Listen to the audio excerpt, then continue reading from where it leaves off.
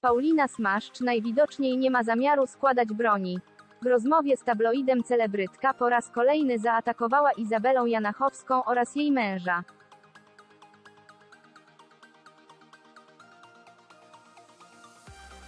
Doczeka się odpowiedzi. W ostatnich dniach z wypiekami na twarzach obserwowaliśmy zacięty konflikt na linii Paulina Smaszcz, Izabela Janachowska.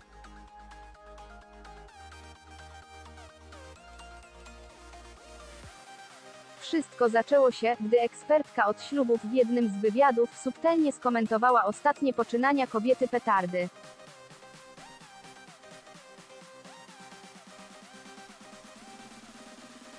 Niedługo później Smaszcz w ostrym tonie odniosła się do jej słów w podcaście Anny Zeidler.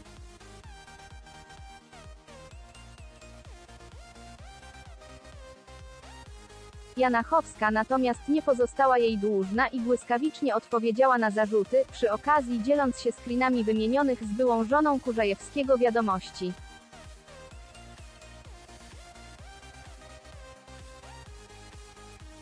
I tak panie rozpoczęły instagramową wojnę na oświadczenia, komentarze i wzajemnie ujawnianie tajemnic.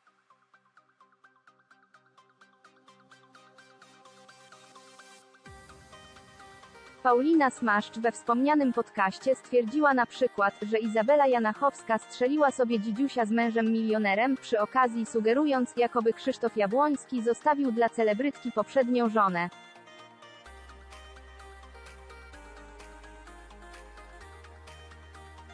W kolejnym wpisie posądziła ją natomiast o rolowanie męża finansowo.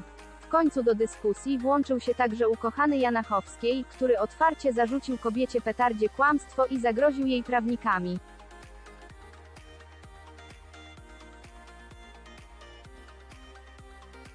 Wygląda na to, że mimo widma prawnych konsekwencji, Paulina Smaszcz nie zamierza jeszcze składać broni.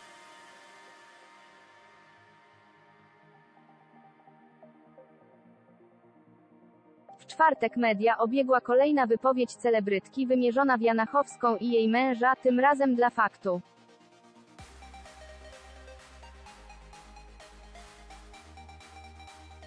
W rozmowie z tabloidem była żona Macieja Kurzajewskiego postanowiła odnieść się do zarzutu Izabeli z początku całej awantury.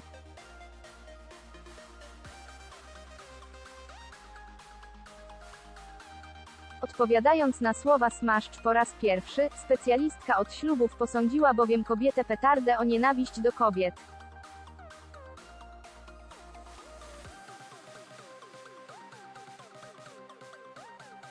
Paulina stanowczo zaprzeczyła podobnemu stwierdzeniu. Przy okazji przekonywała, że to Janachowska rozpoczęła medialny konflikt.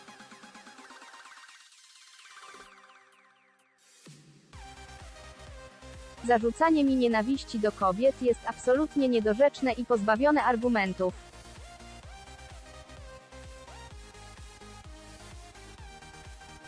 Pani Janachowska zaatakowała mnie i moje życie pierwsza.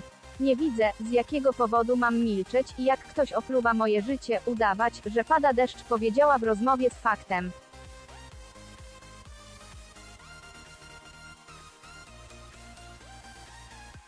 W dalszej części swojego komentarza zaprafajona w boju celebrytka po raz kolejny podkreśliła, że prawda nie jest jej straszna.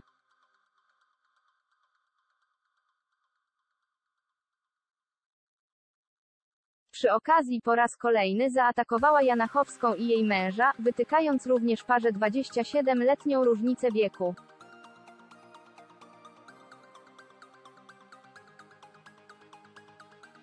W rozmowie z Faktem Smaszcz zapewniła także, że nie tylko prawnicy Krzysztofa Jabłońskiego mają obecnie pełne ręce roboty.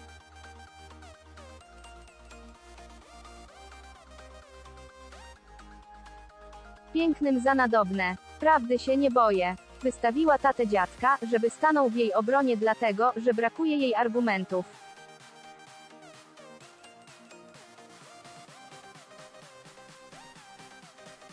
Jeśli pierwsza atakuje, to niech spodziewa się reakcji.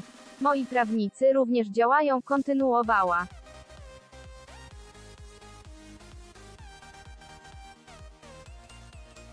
Na zakończenie Smaszcz postanowiła skierować kilka słów do polskich kobiet. Pozdrawiam wszystkie mądre, niesamowite kobiety, które się edukują, rozwijają i chcą mieć poczucie własnej wartości, bo na to ciężko zapracowały i zasłużyły, powiedziała faktowi.